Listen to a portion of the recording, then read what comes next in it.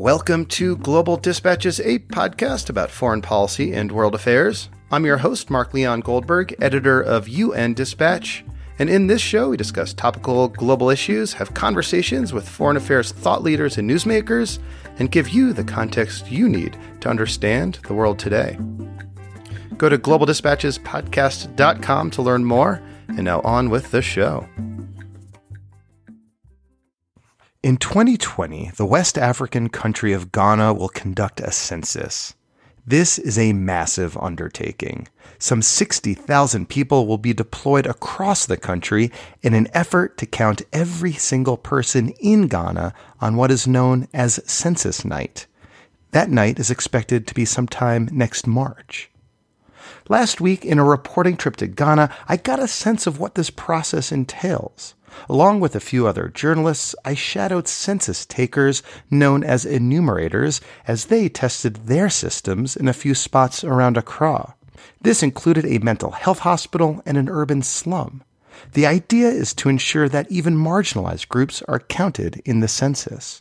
On the line with me to discuss how the census will be conducted, the kinds of questions that will be asked, and how census data can be applied to advance national goals around sustainable development is Omar Seidu. He is the head of demographic statistics and coordinator for the Sustainable Development Goals at the Ghana Statistical Service. We met each other last week as part of a reporting trip, which was supported by the Global Partnership for Sustainable Development Data. This conversation offers a really interesting perspective on the kind of Herculean effort that is required to conduct a census in a developing country like Ghana. And I think after listening to this conversation with Omar Seidu, you will understand why census is such a valuable undertaking for shaping government policies to advance key national priorities, particularly around sustainable development. As always, if you have suggestions of people I should interview or topics I should cover, please do send me an email. You can do so using the contact button on globaldispatchespodcast.com. I love hearing from you guys. Please keep sending me your emails. Love your suggestions. And now here is my conversation with Omar Seidu of the Ghana Statistical Service. A census is one of the biggest undertaking um, in, in terms of statistical investigation that any statistical office um, uh, implements. Uh, in the case of Ghana, we're combining a population and housing census, which is uh, the recommendation for from the UN. So this would be um, the third times we'll be doing a, a, population and housing census combined. And we have tried in the last uh, three decades to maintain the 10-year periodicity of the population and housing census. So it's expected to be conducted, uh, the main field work in uh, 2020. So a census obviously is a very huge undertaking uh, in terms of the cost involved, uh, the um, the number of persons engaged, uh, the kind of resources that are, required to, to, to undertake the census. For that reason, it's usually a challenge in many developing countries to have it done every 10 years uh, because of the huge um, logistical demand of the census. Uh, however, in Ghana, the, the, the government and the people of Ghana have been committed to ensure that uh, census is done every 10 years since uh, the year 2000. Mm. Uh, so we are currently um, uh, working hard. Uh, it, it is in phases. Mm-hmm. Uh, the census count itself happens within a short period, but the processes leading to the census start several years before the census date in 2020. As we speak now, we have um, a lot of teams on the field for, for more than a year now uh, doing a, a demarcating the entire country into smaller units called enumeration areas that uh, each census uh, enumerator or census uh, field officer will be responsible for.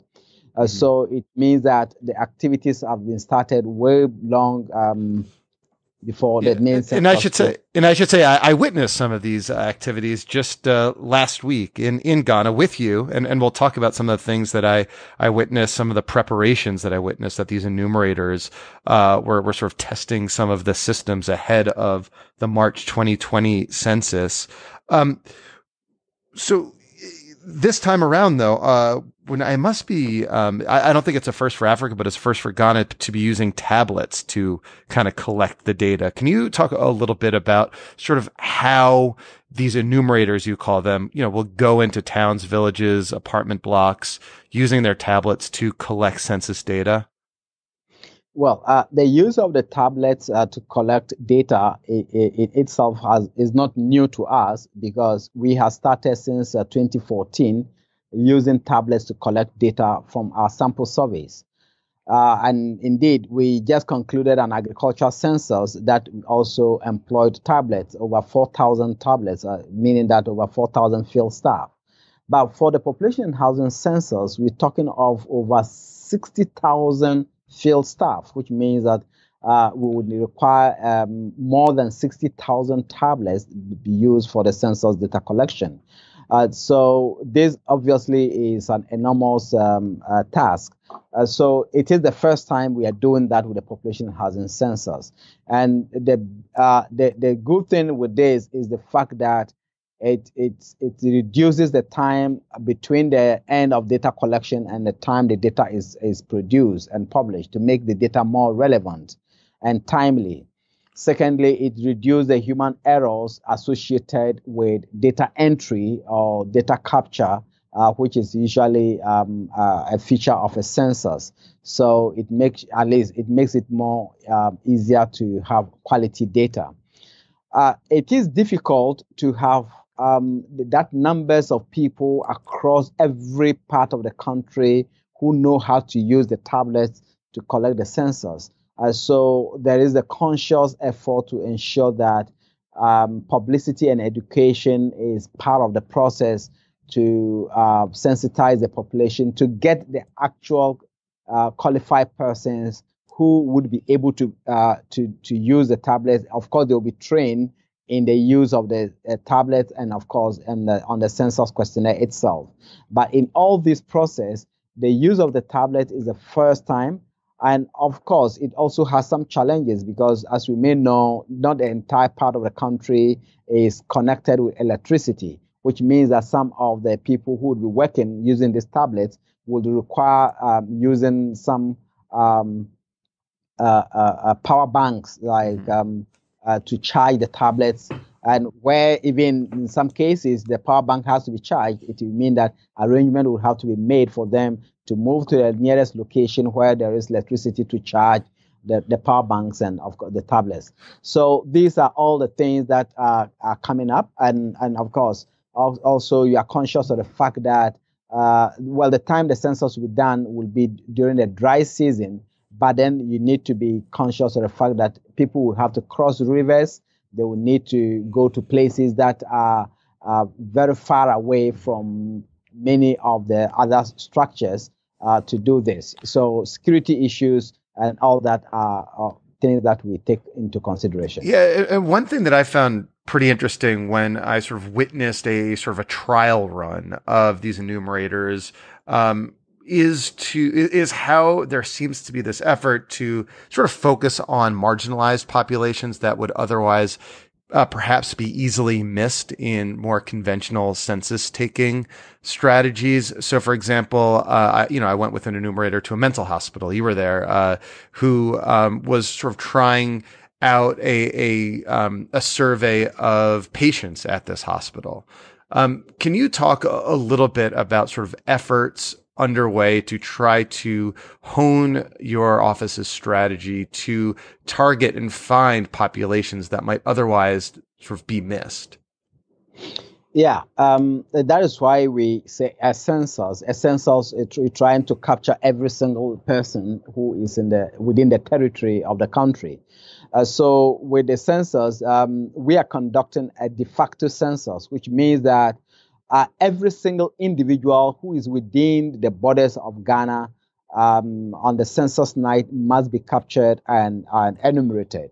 Uh, so I think that the census is the single most important um, statistical investigation that provides us information on all segments of the population, which means that uh, we have to put in every effort to ensure that every single individual, irrespective of their social status, their race, um, their disability status, are captured.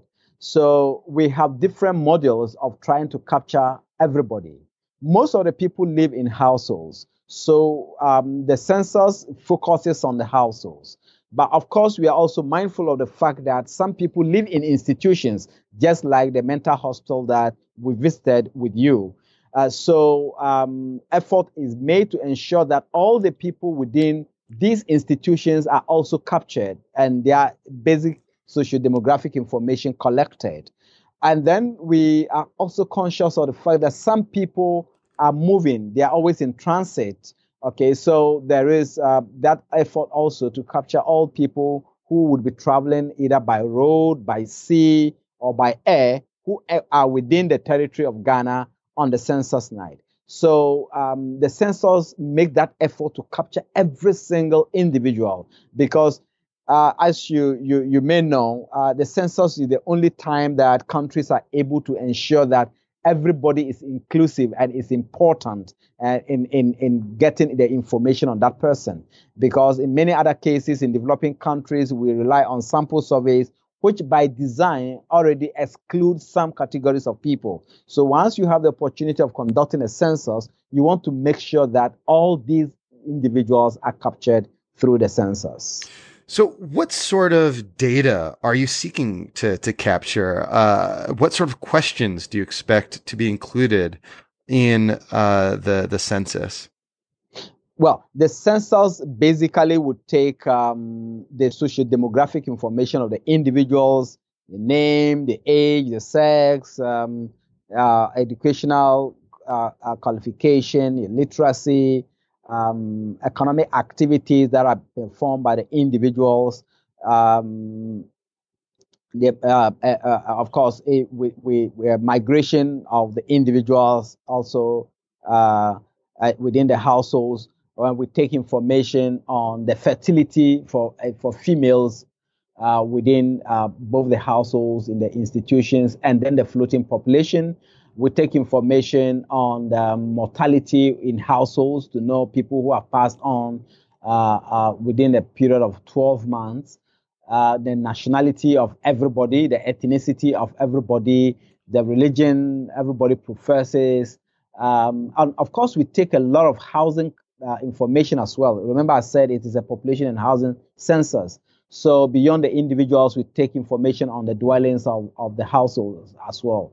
So we take quite a lot of information uh, on on persons' um, uh, usage of ICT, for instance. Uh, we take information on, on that. On disability, that is very critical. So for every member of the household, we want to know if the person has any form of disability as a way of um, uh, uh, disaggregating the data to identify persons who have uh, the different types of disabilities. Mm-hmm. And you want to take information on the economic activities that people are undertaking so that you also know people who are unemployed in the country.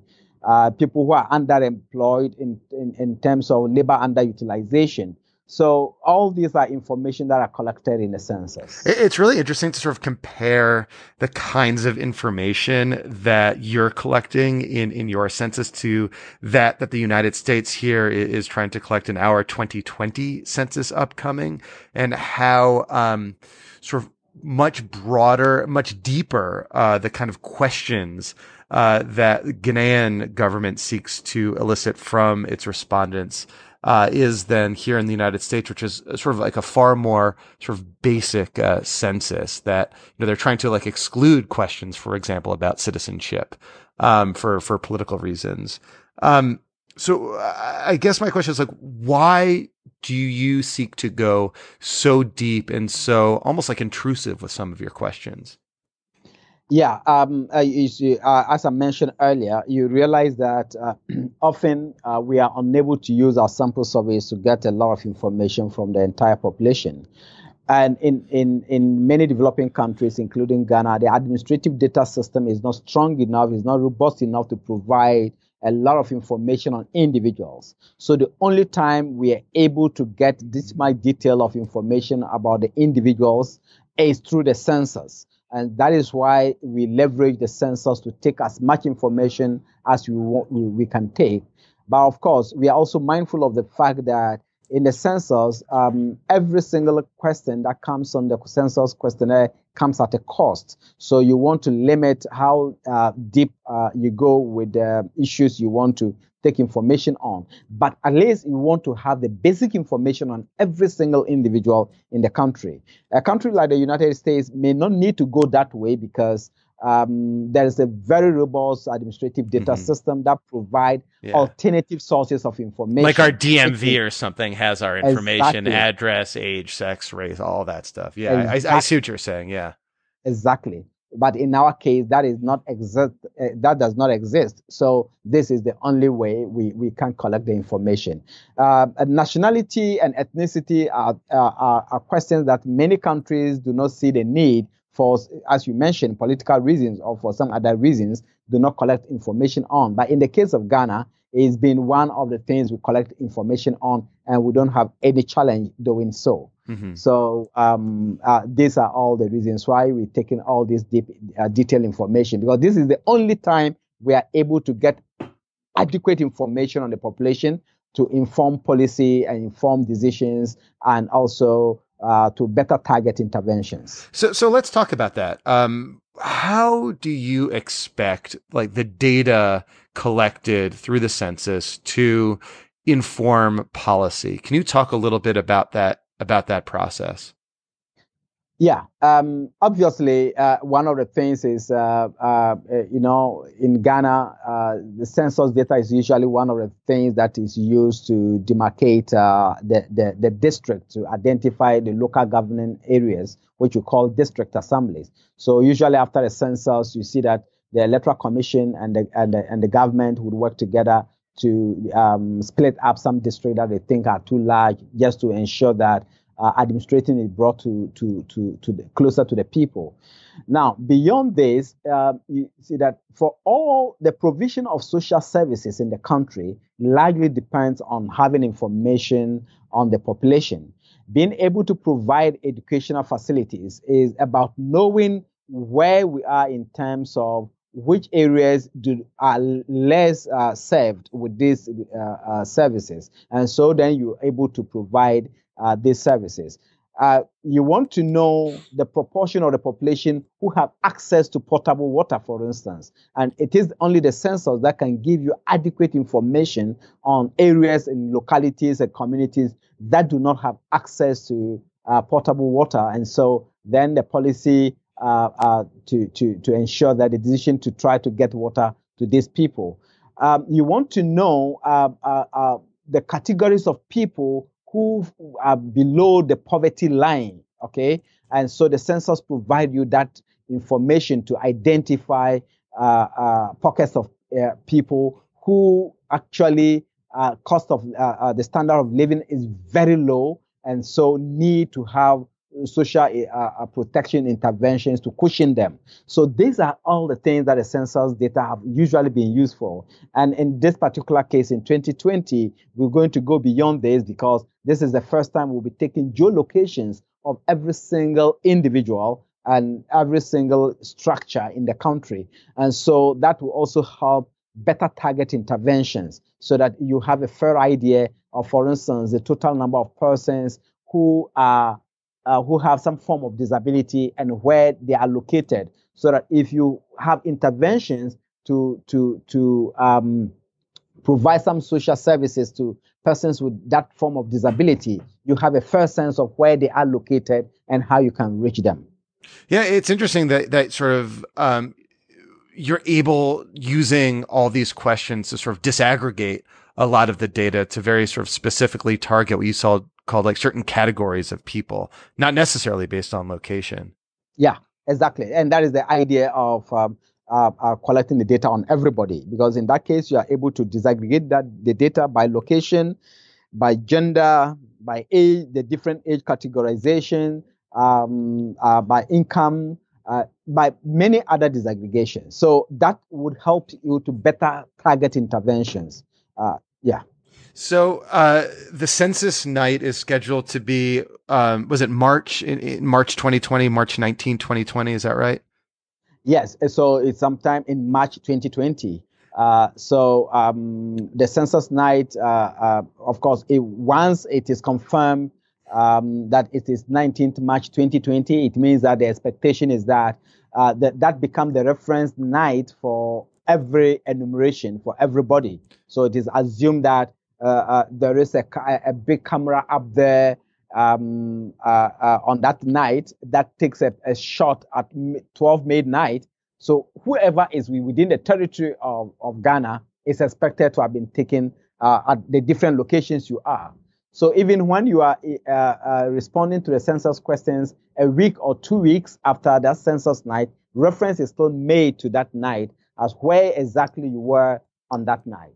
These are also done to ensure that we do not duplicate, we do not um, uh, uh double count people, and we do not miss out some people. And, and, what's kind of interesting to me also is that um, both in like localities and also nationally, it's sort of intended to be like a big holiday, and there are going to be festivals and festivities, so people sort of like remember where they were the night of the party, kind of thing. Yeah, yeah, and that is very important. You know, um, a, a, a, quite a, big number of the population is not literate, right? Uh, so you would want to ensure that you reduce recall errors associated with asking people questions about a week ago, about two weeks ago. So usually in communities, uh, several activities are, are done uh, on the census night uh, that will make it, that are unusual activities so that it will make people remember that night. For instance, in some areas, um, there will be church bells will be uh, sounded at midnight uh, of the census night. Uh, some places there will be street carnivals. There will be um, quite a lot of activities, uh, uh, police sirens and and and uh, bonfires. So these are all activities that are done to uh, help people to remember that night, and so then all reference is made to that night. So, so there are um, a lot of challenges uh, ahead for your office between you know now and census night. I know one of them from speaking with your colleague is just um, obtaining the the tablets, the you know over sixty thousand tablets that are necessary for uh, this project. And when I was talking to your colleagues, she, they didn't know exactly where they would be sourced from. They didn't know what operating systems they would use, and they said that that was kind of a, a big variable that would impact whether or not um, the census would be able to be taken on time at, at that date. Can you talk a, a little bit about that variable and, and other potential obstacles to sort of effectively carrying out this monumental task? Yeah, um, you know, as I said earlier, um, th- this is the first time we are doing um, uh, a digital census, uh, population and housing census with that huge number of tablets. And uh, the cost associated with procuring these tablets obviously is, is huge uh, because um, you would want to, uh, because after procuring those tablets and after the census, you wouldn't need that number of tablets for anything else, yeah. right? What are you going to do with 60,000 so, tablets, right? Yeah. And, and, so these are all the things that have to go in in in, in trying to um, uh, procure a tablet. Uh, and unfortunately, not many countries on the continent have done so. And so uh, that we can say, okay, uh, country A has already completed their census and they have this number of tablets. Let Ghana go borrow those tablets for. Yes, uh, Malawi has done their census, but Malawi is a small country compared to Ghana. And so the number of tablets they have used is not the number that, of course, if we have access to those tablets, it will help us, but we'll still need a lot. So these are the thing, the discussions that are going on. And also you want to be certain that the tablets that you deploy would have all the features that will make uh, them um, uh, uh, uh, uh good for the census data collection. Because um, it, usually with this mass production of this kind of equipment, you get some defective equipment, but you want to make sure you have that. So obviously, we're going to go past the number of 60,000 just to make sure that we give room for some d- defects. Um, but there are a lot of discussions uh, going on about the possibility of, well, one, looking at other countries within the sub-region who probably may be doing census this year to see if there can be that arrangement to leverage their tablets for our census. Uh, there are also discussions about uh, other interventions within uh, the country so that if the government, for, for instance, is able to raise the total amount of money required for the census, then maybe after the census, a lot of the tablets will be given to uh, school school children. Uh, there are a lot of discussions going on, but of course, it is a huge cost, and and and obviously, um, government uh, uh, uh I would have to think through all the options available to see which will be the best option. Mm-hmm. Of course, you know, the, the costs, you know, could be made up if you have like add efficiencies to your policy making process that are informed by all the data you collect, I would imagine. Exactly. Uh, well, well, Omar, thank you so much for your time. This is absolutely fascinating. And good luck, my yeah, lord. Good luck. So much. yeah, it's, it's yeah. huge. Yeah. Okay. Nice meeting you all in right. Accra last week. Yeah. Thank you. All right. Thank you all for listening. Thank you to Omar. That was great. Very uh, helpful. And I, I, should say, I can add like a little more color uh, if you like to uh, what it was like to kind of shadow those enumerators in the mental hospital and then in the uh, urban slum. At the mental hospital, what they would do uh, is not interview the patients directly. They would uh, talk to staff and uh, have the staff kind of go through uh, the records of kind of who lives there and kind of what information they could glean from uh, their records. Uh, that was that was sort of an interesting undertaking to see kind of the records that staff keep about people at this hospital.